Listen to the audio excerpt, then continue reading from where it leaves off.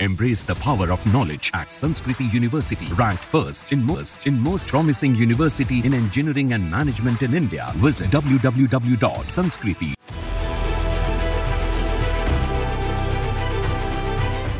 गुजरात में इन दिनों आसमान से आफत बरस रही है गुजरात में लगातार हो रही बारिश से वडोदरा राजकोट और मोरबी जैसे कई इलाके गंभीर रूप से प्रभावित हुए हैं नदी के आसपास के गाँव के लिए चेतावनी जारी की गई है स्थिति गंभीर बनी हुई है।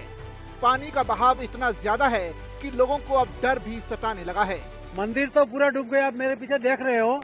और स्वयंभू महादेव है तो वो ये पहली बारिश में बारिश भी फैला हुआ है और नदी का पानी भी पहली बार आया हुआ है।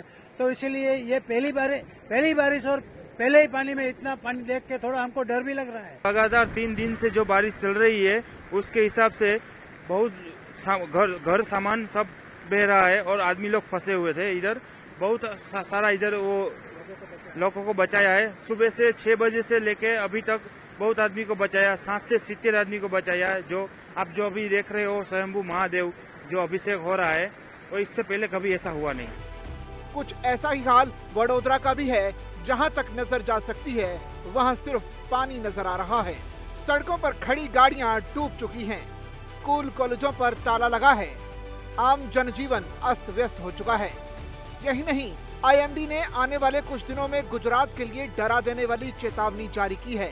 जो आजवा का पानी विश्वामित्री में दस हज़ार क्यूसेक आ रहा था, उसको अभी से स्टॉप किया है और अभी आजवा 213.65 फीट है। हमारे पास जो बफरिंग टाइम है, वो छः घंटे का है। तो हमने टेम्पररी ये सारे गेट क्लोज कर दिए हैं। उसके साथ प्रतापपुरा, जो विश्वामित्री में पानी दे रही थी नदी के अंदर, उसके भी गेट हमने क्लोज कर दिए हैं। और जहाँ से विश्वामित्री वडोदरा शहर में से एग्जिट हो रही थी, वहाँ डाडर नदी मिल रही थी। तो डाडर नदी और विश्वामित्री के दोनों के साथ जाने के कारण विश्वामित्री का पानी जल्दी एग्जिट नहीं हो रहा था। तो हमने डाडर नदी के कैचमेंट एरिया में देव डैम आ रहा है। तो देव डैम के भी गेट हमने क्लोज कर दिए हैं। इसके कारण वडोदरा शहर में जो पूर की परिस्थिति हुई है, जो अभी विश्वामित्री 37 फीट के आसपास बह रही है, उसको पाँच छः घंटे के अंदर पानी कम करने के लिए हमने ये निर्णय राज्य सरकार की मंजूरी से, माननीय मुख्यमंत्री जी से प्रभारी मंत्री जी से बात करके ये निर्णय किया है। गुजरात के कई इलाकों में बारिश का रेड अलर्ट तक जारी किया गया है।